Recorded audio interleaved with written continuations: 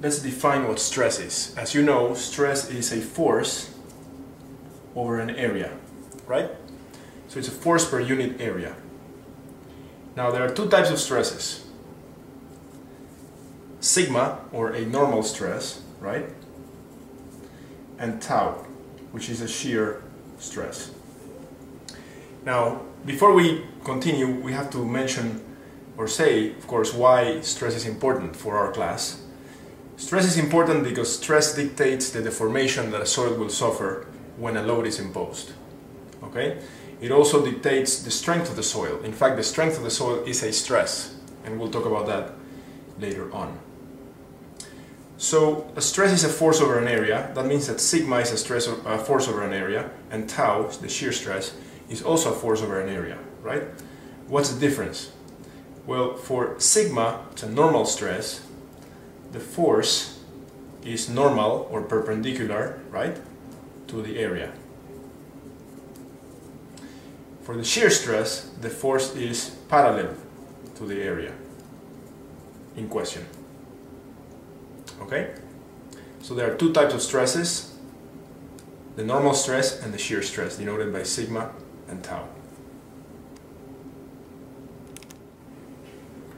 So for example, let's say that we have a block, okay, a cube, and it's sitting on a fixed surface, okay? Now let's say that the side of this cube has a size d, right? So d, d, d, right? Now let's say that there's a force here F, and it's applied normal to the top of the cube. Then the stress sigma that acts on the top of the cube, vertically downwards, is equal to the force over the area. What's the area? d squared, right? This d times the d into the page. So this is equal to f over d squared, right? And basically that's the, that's the uh, normal stress, sigma. What happens if we have the same cube, okay, but there is a force applied parallel to the top of the cube, like this. In this case, tau is the relevant stress, and that's F over, again, d squared, right? So in this case, of course, the F, these are two different examples, right? In this case, tau acting vertically, sorry, uh, tau acting laterally on this surface is zero because there's no force acting there, right? And on, in this case, there's no vertical force, right? There's no force normal to this plane or to this side of the cube. So in this case, sigma is zero, for example, okay? Now you may have a case where you have both, right? So you have force one here and another force, force two here. In which case, tau would be f2 over d squared and sigma would be, sorry, f1 over d squared. Okay, so that's those are just simple calculations of stress on planes, in this case on top of cubes, right? Let's move on. Let's look at the top of the cube we just drew, right? So let's say that this is the top, we're looking at it from the top. We know that there is a stress, sigma, let's say for the first example that we did, this one right here, okay? For that example, we're looking at the top of the cube. Now we're looking downwards on it. Okay, so we said that sigma was equal to F over A, right?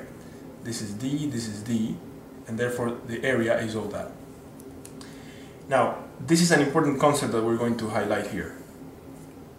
Stress, either this one or the other one, both, both of them, that is sigma and tau, in this case there is no tau because of our example, but the point that, that we have to make here is that stress acts at a point, okay?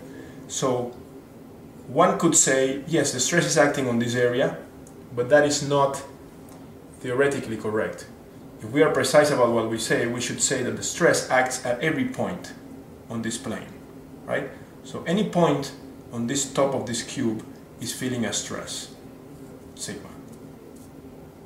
Okay, so you can imagine that arrow that acts down like this, that F, it's divided into very small tiny arrows and in, an infinity of them because there's infinity points and each one of those little arrows is a stress sigma. Okay? And of course it points in the same direction as the force. So important. Stress acts at a point. Both sigma and tau. Both of them act at a point. Okay now let's move on to stresses in soil. Stresses in soil. Okay, first of all we're going to define the three different types in general, three different types of stresses that occur in soil. The first one is called the geostatic. Okay, geo means soil and static means static. So basically what happens here is that there's nothing else happening at the site. Okay, we always refer to our location for our project as the site, right? There's nothing happening at the site, meaning there's no construction, there's no loading, there's no excavations, there's nothing going on other than the soil sitting there by itself um, with no loads on it, other than its self-weight. It has self-weight, right? The particles, the fluid, all that has self-weight. That's the geostatic condition. Okay? There's also induced stresses. These are the stresses that are imposed by, typically in our case, uh, the the construction processes, right? So for example, let's say that we have a site, here's the ground surface, that's a tree, right? And let's say that we place a foundation, which is a block of concrete on top of the soil. By doing that, we have loaded the soil, and therefore there's going to be a spatial distribution of stress in this regime, or region, sorry, okay?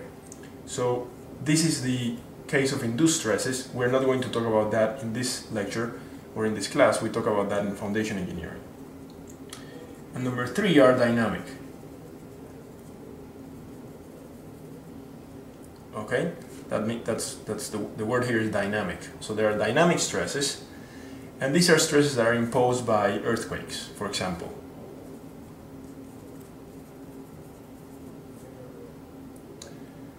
So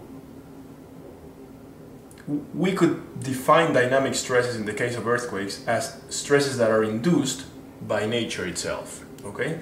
And we are, again, not going to talk about that in this class because that's a topic of soil dynamics, which is another class. This is foundations engineering, but we are definitely going to spend time talking about the geostatic stresses.